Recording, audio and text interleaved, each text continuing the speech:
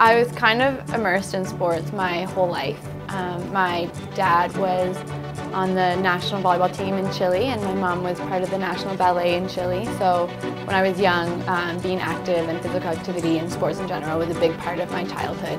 Um, I grew up surrounded by beach volleyball players and volleyball athletes in general.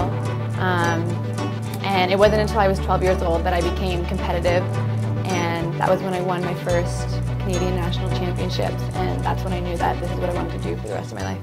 I think being involved in competitive sports um, really plays a big factor in your overall life and having to manage so many different aspects of your life, like your social life, your academic life, your athletic life. Um, and I think prioritizing and time management is absolutely crucial.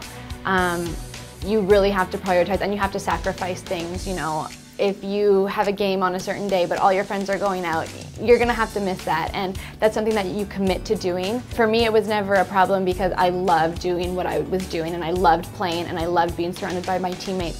So I had no problem sacrificing some some parties and stuff, you know, to practice and to play in these games. Um, I think throughout my childhood it uh, sports in general was uh, very good for me because it kept me disciplined and it kept me focused. Um, I played indoor volleyball and I absolutely loved it. Um, I played for York University and the girls on that team are my sisters and um, you know that's friendships that will be that will be had forever. But um, beach volleyball is very mentally um, challenging, physically, mentally and emotionally challenging and I think that's something that I really enjoyed and that I love to pursue every single day.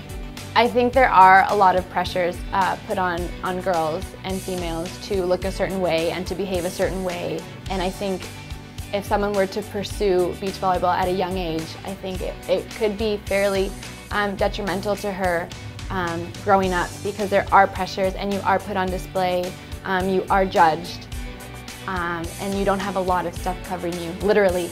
Um, and so I can see how that can be that can affect someone's self-esteem growing up and I can see how um, the sexualization of females it, it hasn't stopped.